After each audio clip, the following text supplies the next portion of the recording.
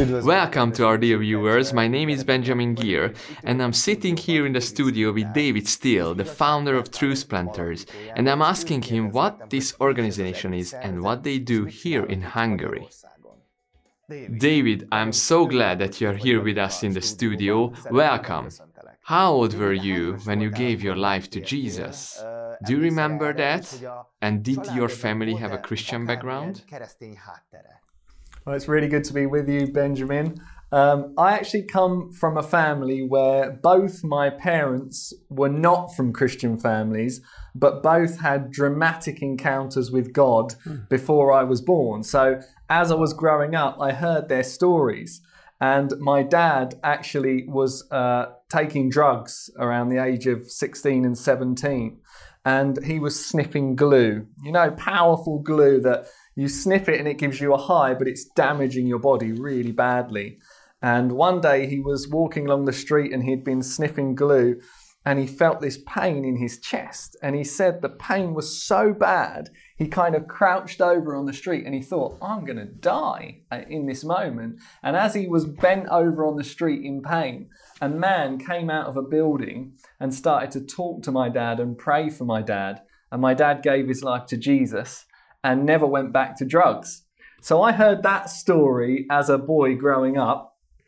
And then my mum told me that when she was about 19 years old, she received some advice from some people about dieting, which was actually really bad, but she received it and started to change her diet at the time, which led to her getting very sick with anorexia. So she was very thin, and of course, the deception is that you think that you're overweight and she got very sick and she was in bed for almost a whole year, unable to live her life. Uh, until one day, she doesn't know why, but a few years before that, she had painted a cross on her bedroom wall. And as she lay there in her bed with no hope for the future, she looked up at the cross on her bedroom window, on her, on her bedroom wall, and she said, Jesus! And she told me that as she called out on the name of Jesus, it was like she had been pulled out from a deep pit. And somehow she knew she was going to get better and she had hope for the future. And then she started to write songs. So she was writing songs about what Jesus had done for her, how he had saved her. And I was hearing these songs, and that is how I heard about Jesus. But it wasn't until I was 17 years old that I really had an encounter with God myself. And, and this happened in a church in London because I'm from England. Um, I was sitting on the front row of a church in London, and the pastor was speaking about the Holy Spirit. And he was talking about how God doesn't just want us to know about Him from what we read in the Bible or what we hear at church, but actually, he really wants to know us. He wants to know us intimately. He wants to have a real living relationship with us. And he wants to put his power in our lives to enable us to do the things that we read about in Scripture. I remember thinking, this is amazing. And I could see right through the Bible where this had happened to so many different people. And then in the book of Acts, uh, and I remember saying, Father, would you fill me with your Holy Spirit at, at the end of this service? And, and as I did that, I felt the presence of the Holy Spirit come into the room. I was powerfully filled with the Holy Spirit. But it was interesting because just before I was filled with the Holy Spirit, I felt God speak to me in my heart. And I felt Him say to me, David, will you lay down your life for me, regardless of what anybody thinks of you? From this moment forward. And, and that was the challenge. It was like, David, I've laid my life down for you. Now, will you lay your life down for me? And as I said yes, and I fell to my knees, that was when he filled me with his spirit. And I think it's, it's interesting, isn't it? Because some people are asking God to fill them with his power, but they haven't first submitted their lives to his authority. And why would he give us his power if we're going to use it for our own good ideas. I, I feel that He wants us to, um, first of all, say, God, I'm willing to obey you and to do what you want with my life. And then He fills us with His Spirit. So, so that was a day where I would say everything changed. And I describe that day as the day that David Steele died, because that was the day that the life of Jesus started to live through me. And that was about 17 years ago now. So, you came to Christ at the age of 17, but when did you begin to do things for the Lord? Not only following Him, but actively doing things for Him? Well, it was actually a few months after I got baptized in the Holy Spirit. I was sitting in my garden one day and I was just praying and I had my eyes closed and I saw a vision of myself standing on a stage with a few hundred people, and I was teaching from the Word of God. And I thought to myself, that cannot be me. I'll tell you why. Because a few years before that in school, they had asked us to do a presentation mm-hmm. where we had to give a speech in mm-hmm. front of our classmates. And out of all the people in the class, I was the only person who could not stand in front of the other students and give a talk. And I remember the day really clearly. I had decided that I would talk about football because mm-hmm. I thought, I know so much about football, this is going to be really easy. And I remember my classmates stood up and gave really good speeches. Um, some of them were not so good. Yeah. And I thought, I can do better than that, you know. And I walked up to the front of the classroom and uh, I saw all the faces looking at me. I don't know if you've ever seen in a cartoon where somebody goes red from their feet yes. up to the top of their head. Well, it felt like that. I went bright red. Everything that I knew about football just fell out of my brain in that moment, and I could barely even say my name. So I was thinking, how am I going to stand in front of people and teach the Word of God? But of course, I don't believe that God ever gives us a calling that we can achieve in our natural ability. And I believe that he always gifts those he calls so that actually we know that it's not us doing it, mm-hmm. but it's him doing it through us. And a few months later, my um, pastor asked me if I could speak at church, and I thought, oh my goodness, this is I just can't do this. But I remembered the vision, so yeah. I said yes, and I stood up in church that day and something was different. And I knew it wasn't me. Somehow I was communicating clearly and I was communicating in a way that reached people's hearts and spirits. And that was when I knew God's given me a gift. But of course, when you've received a gift, you have to start putting it into practice. And the Bible talks about, Paul the Apostle says to Timothy, fan into flame the gift that God has given you. And I realized I need to use this gift and I need to honor God and seek to glorify God by speaking what He wants me to speak. And so that was the beginning for me. And so I started preaching in church and things like that. And then very soon after that, I went to university. And again, God spoke to me and said to me, David, I want you to start a church. So at the age of 20 years old, I started like an evangelistic mission in our university. And that was when I I was supposed to be studying, right? Yeah. But the majority of my time was focused on how can I lead people to Christ? How can I teach and equip them? How can I fulfill the great commission of Jesus? So you were there as a university student. You went there to study, but you ended up planting a church. How did your studies go and how did the church planting go? Well, it's interesting actually that um, God gave me a vision of a place that I had seen once before, and it was an underground part of one of the old traditional churches mm-hmm. in our city and it was a place where they did youth meetings. And mm-hmm. I saw a vision of an alpha course happening in that room. Mm-hmm. So I approached the pastor of that church and I talked to him and I said, Would it be possible to use this room? And I'm, I wasn't from his church, you know. And uh, amazingly, God opened the door and gave me favor with this leader. And so we started an alpha course.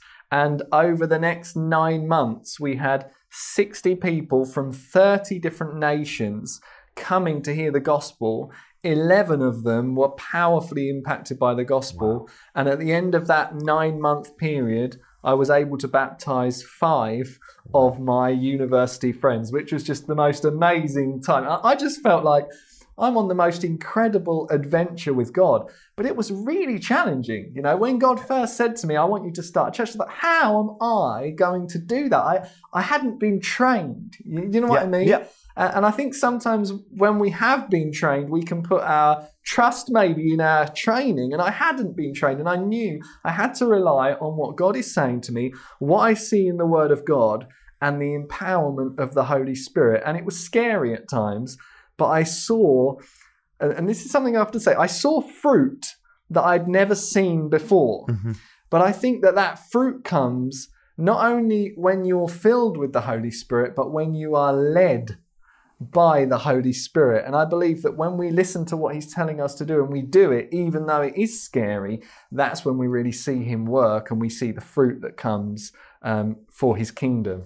Summarize for us a little bit, David. How was your journey? Because you just started a church during this period and you led this church. But tell us, how did you get here? And tell us a little bit about your family, your wife. Yeah, so that church that I started, that was in the, my second year of university. Mm-hmm. And in my third year, I had to leave the university and go for a year work placement because I was studying business. Mm-hmm.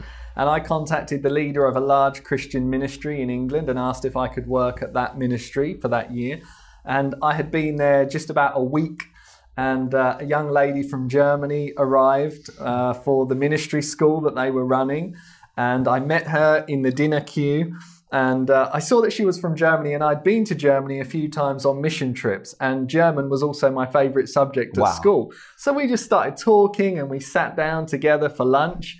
And as I was sitting there talking with her, this wasn't like anything that had ever happened with another a girl or a woman that I'd met with before, but it was like almost like curtains opened and I could see in through her eyes into her heart. And I saw wow there's something really beautiful inside this woman. And obviously I didn't say anything to her um, but as the months went by I began to pray and ask God is this the woman you've called me to marry? And and eventually long story short we got married and we had two children in England two girls. And that was around the time that God gave me a vision. I was in prayer and I received a vision of our family driving through what we call mainland Europe, right? Mm-hmm. Because England is an, an island. Yeah. Through mainland Europe. And I knew in the vision that we were teaching and ministering to people in lots of different countries. And I saw that vision three times in the space of six months. Mm-hmm. And when I saw the vision the third time, I thought, I can't ignore this anymore. God is speaking to me. God wants us to go. And I didn't know if it was going to be just a few months or a few years or if we would permanently move. So we began to seek God and we began to pray. And I can't go into all the details now, but God made it clear that He wanted us to move to Hungary. And of course, you know that if you look at the map of Europe, Hungary is right, Right in, the, middle. center. Yeah. And so it's actually an ideal place to be ministering in lots of different countries from. Um, but once we realized that God was sending us, I remember I went to speak to my leaders at the ministry that we were working for. And uh, I said, I feel God's calling us to go to Hungary and to minister in different countries. And they said, We'll give you our blessing, but we can't pay you. Yeah. So there'll be no salary. Yeah. And so I had two children. My wife was actually pregnant at this time. And I started to panic. How are we going to find a house? How are we going to pay for food? How are we going to send our children to school? And there were all these questions. And I would say for three months, I was worried. And you know, I knew what Jesus said in Matthew six thirty three. He said, um, "Don't worry about these things. Basically, seek first His kingdom and His righteousness. All these things will be given to you. Don't worry about tomorrow." And and one day, I just got on my knees in my bedroom and I just said, "God, I'm so sorry.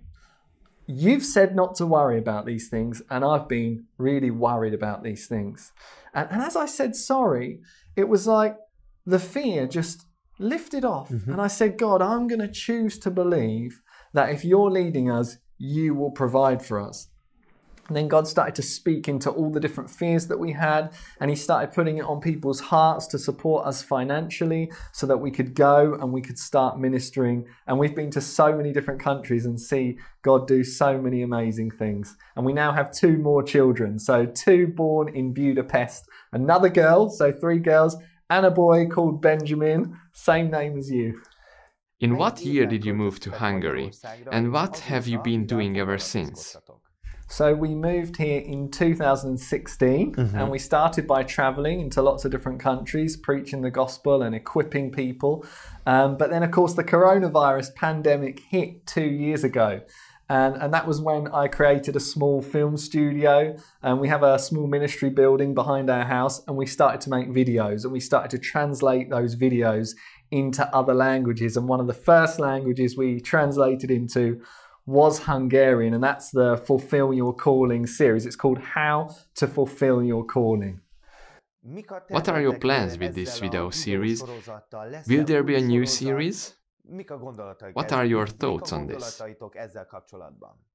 Yeah, so we've received lots of feedback already from Hungary and other countries that these videos are really impacting people and, and equipping them to fulfill God's calling on their life. So I have a kind of an unending plan to continue making new video series. I'm working right now on one. Uh, it's going to be called The Power of Words, which mm-hmm. should be released later this year. Mm-hmm. But there's a lot of work involved. You know, I have to prayerfully seek God, prepare the teaching, record it, then we have to translate it, then we have to find somebody who can either put that into subtitles or dubbing. Mm-hmm. Um, but yeah, we're really looking forward to releasing more videos and seeing people's lives changed through the power of the gospel. Tell us a little bit about when the Truth Planters Foundation was started and what your plans are with that ministry. So, uh, a few years after being here in Hungary, God started to raise up other missionaries, Hungarian missionaries. So, we formed a, a small team and we mm-hmm. realized that um, God wanted us to start an Alapítvány. Mm-hmm. And, and, it took us a little bit of time actually to establish it. And it was finally established in March 2021. And and so we've been doing events in Budapest called mm-hmm. Truth and Power Nights. And, and our vision with those events is to see people experience the truth of God, the presence of God, and the power of God. And we've seen people give their lives to Jesus in those events, and we've seen people baptized in the Holy Spirit and receive visions about what God is calling them to do. Um, but right now, we're working a lot on the videos, and it's just our vision really is to do three things it's to equip, encourage, and inspire believers to fulfill God's calling on their lives. And, and the, the main kind of vision of truth planters is to plant the life transforming truth mm-hmm. of Jesus Christ into the hearts of people everywhere. So our vision is is international. It's not limited to just Hungary or mm-hmm. just Europe. And we we don't plan too far in advance. We try to um, just really wait on the Lord and listen to the Lord uh, to tell us what it is that He wants us to do, which can be challenging at times. And then we try to step forward as He opens mm-hmm. doors, mm-hmm. um, just to see lives change for His glory. Okay, so if people are interested in how they can get to these events that you have, uh, how they can attend to it, um, help us a little bit with that. Well, the best way to follow Truth Planters is probably on Facebook, mm-hmm. and you can also subscribe to our YouTube channel. That's where you'll find all of our videos. Mm-hmm. That's where we post information about where we're going and what we're doing, and that's where you'll probably get encouraged and inspired in your walk with God. Why did you make the video series titled How to Fulfill Your Calling, and what was the purpose behind it? Well, I've traveled to a lot of different countries, to a lot of different churches, and, and two of the biggest questions that, that, that come to me are David, how can I know what God's calling is on my life? And secondly, how can I fulfill the calling that God has on my life? And I think there are a lot of people who feel like that. They, they know because they read in the Bible that they've been chosen, they know that they've been called. They know that they've been gifted by God. Not everybody knows what gifts they've got and what gifts God wants to give them, but they have a sense that they're here for a purpose. And I think that's right. I don't think we can read the Bible and think anything different. But the question is, how can I find out what God is calling me to do and fulfill it? And I think that's that's the reason that I recorded the series. But of course, there are loads of aspects to that. And I think one of the most important things we've got to understand is that you cannot fulfill God's calling on your life in your natural ability. And there seems to be a pattern that God follows when he wants to achieve something on the earth. First of all, he has something in his will that he wants to achieve. Secondly, he speaks it out. He makes it clear, whether it's through his prophets or whether he reveals it to you by his spirit or through his word. But thirdly, he always empowers a man or a woman by his spirit to do the thing that He wants to do. And I think that's amazing because if we're fulfilling God's calling on our lives, we know that it's not us, that it's Him doing it through us, and therefore all of the glory goes to Him. So, one aspect is that it's so important that people understand what it means to be filled with the Holy Spirit. But then, if you look at the example of Jesus, he wasn't only full of the Holy Spirit, he was full of the Holy Spirit, he was led by the Holy Spirit, and he operated in the power of the Holy Spirit.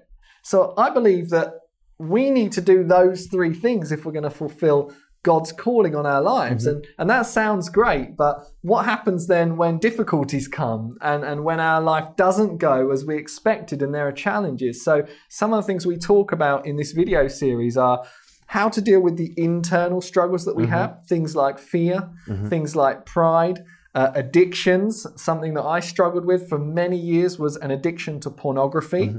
And God led me out of that addiction. Mm-hmm. And I'm sharing keys that people can actually take hold of and use to walk in the freedom that God wants to give them. But also, how do we deal with the external struggles? How can we persevere through trials? Because often somebody starts very well and then something unexpected or something difficult happens in their life and they shrink back Mm-hmm. and they stop walking in the direction God was calling them in, or they stop using their gift. The, the Bible says uh, that God doesn't like it when we shrink back.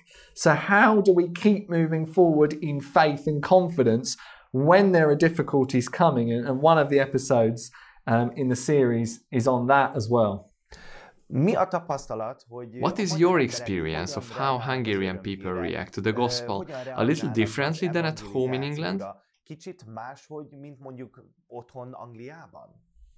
Yeah, I think um, England is perhaps even more of a secular society mm-hmm. than Hungary. And what I've noticed in, in this generation is that there are a lot of people who associate themselves with a Christian church or denomination. So they'll say, I'm Catholic, or I'm Reformed, or I'm Baptist.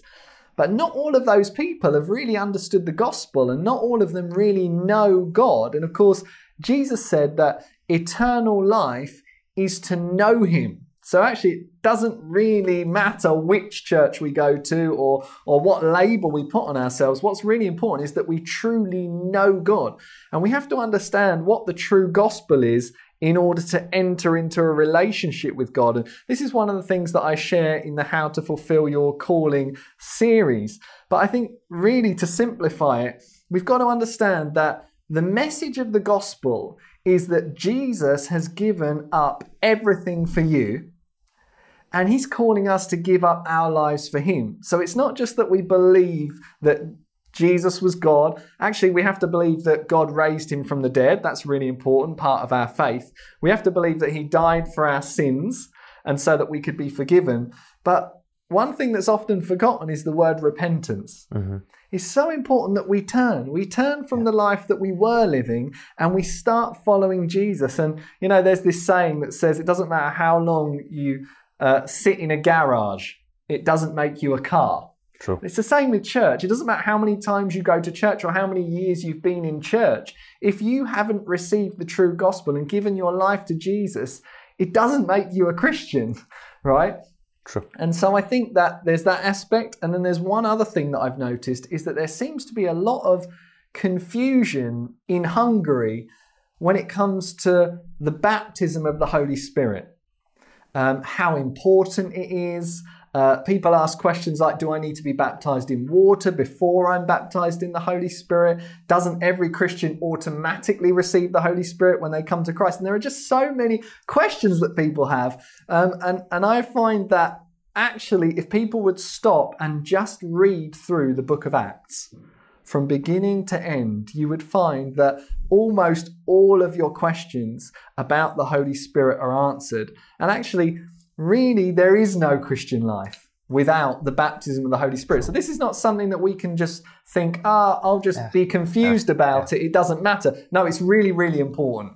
And actually, if you want to fulfill God's calling on your life, you cannot do that without the empowerment of the Holy Spirit. So I'm teaching a lot on what is true salvation and what it means to be baptized in the Holy Spirit um, here in Hungary.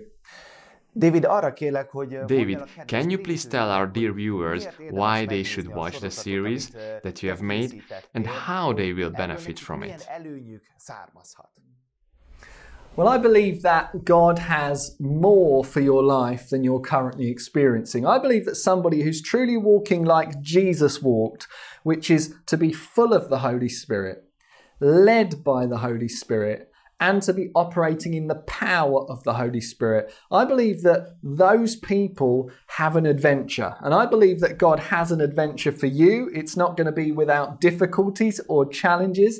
But in this video series, I am sharing the keys that you need to be able to walk in the calling that God has on your life. And of course, we will never be satisfied and we will never be content until we are doing what God created us to do, what He put us on the earth to do. And you know, Jesus said this, and I want to remind you of this right now. In John 15 16, He said, You did not choose me, but I chose you and appointed you to bear fruit fruit that lasts. And I believe that if you watch this video series, How to Fulfill Your Calling, that you will learn amazing keys that are going to enable you to fulfill God's calling on your life and bear the fruit that He's called you to bear, bringing much glory to Him and doing great things for His kingdom. David, nagyon köszönjük, hogy Thank you so much, David, for being with us and sharing things from your heart that are precious to you. We wish you a blessing here for your work in Hungary. Thank you, Benjamin. It's been a pleasure to be with you.